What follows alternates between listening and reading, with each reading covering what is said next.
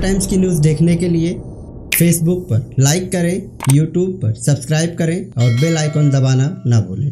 मैं इस्लामुद्दीन खान और आप देख रहे हैं प्रहार टाइम्स मुंबई के घाटकोपर मानखुर्द लिंक फ्लाईओवर पर दुर्घटनाओं के बाद अब बीएमसी की नींद खुली है।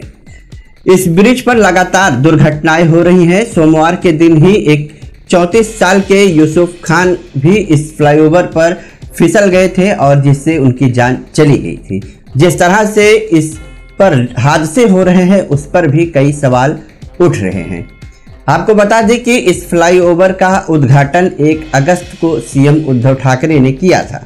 और एक महीने में ही लगातार यहाँ दुर्घटनाएँ हो रही हैं और दुर्घटनाओं पर हंगामा होने के बाद बीएमसी ने अब सुरक्षा की दृष्टि से कदम उठाना शुरू किया है।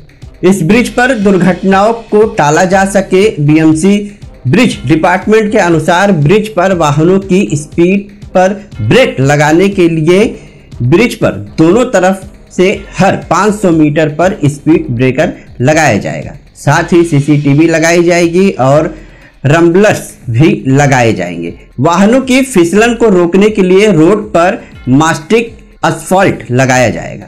बीएमसी का कहना है कि फ्लाईओवर पर 50 किलोमीटर प्रति घंटे की रफ्तार से वाहनों को चलने के लिए ये बनाया गया है, मगर लोग इसके बावजूद इससे तेज रफ्तार से चार पहिया और दो पहिया वाहन चलाते हैं, जिसकी वजह से दुर्घटनाएँ हो रही हैं। मगर अब रफ्तार पर लगाम लगाने के लिए बीएमसी उपाय योजना कर रही है।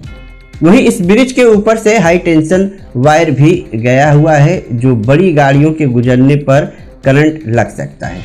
इसकी ऊंचाई बढ़ाने के लिए बीएमसी ने राजस्व विभाग को भी खत लिखा है। वहीं एहतियात के तौर पर घाटकुपर मानखुर्द लिंक फ्लाईओवर को एक तरफ़ से बंद किया गया है, क्योंकि यहाँ पर काम शुरू किया गया है। बताया जा रहा है कि चार से पाँच दिन काम लगेगा, इसके बाद ये रास्ता खोल दिया जाएगा। तो तमाम खबरों को जानने के लिए देखते रहिए प्रहार टाइम्स।